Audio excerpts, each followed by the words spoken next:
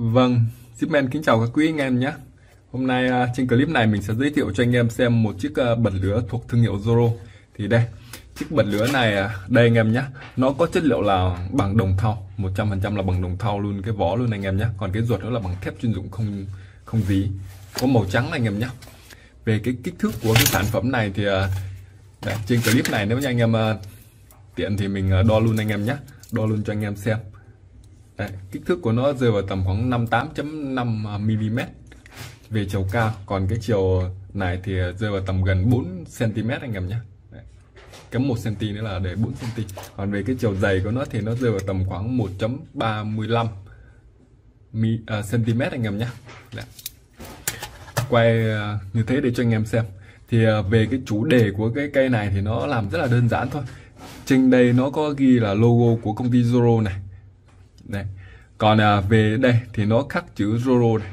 Đây cái chữ Roro thì à, nó khắc chìm xuống và cái chữ đây là Classic and, and Entertainment.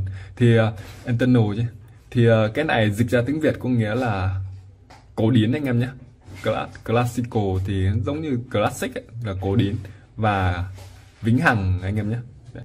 về ban đầu chất liệu của cây bật lửa này nó là bằng đồng. Đấy, bằng đồng xong rồi nó nó đúc mà nó bóng như thế này này. Đấy.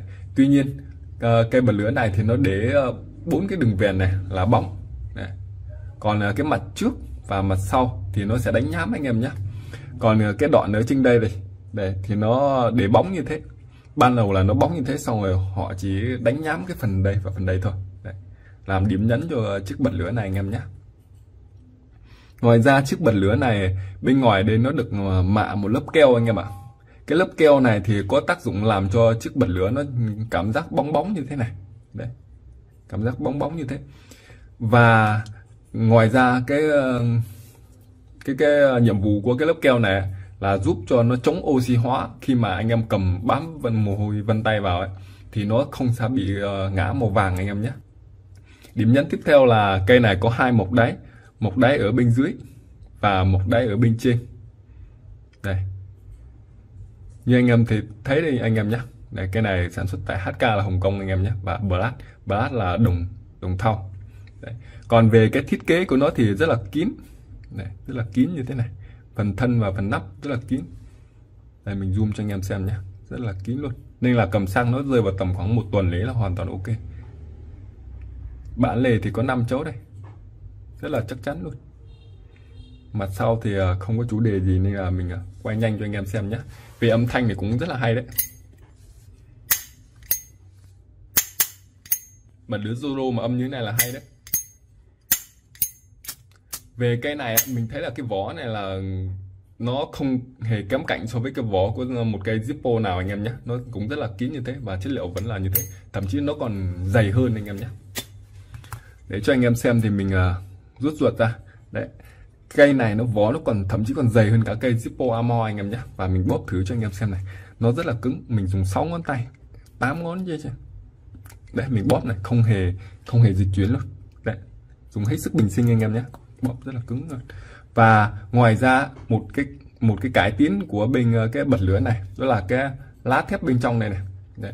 nó sẽ dài hơn so với cái lá thép của Zippo anh em nhé. Và nó có hai cái lá nó chĩa sang hai bên đấy thì hai cái lá này có nhiệm vụ là nó sẽ đẩy cái đẩy cái ruột Zippo, nó đẩy ra này, làm cho cái ruột Zippo chắc.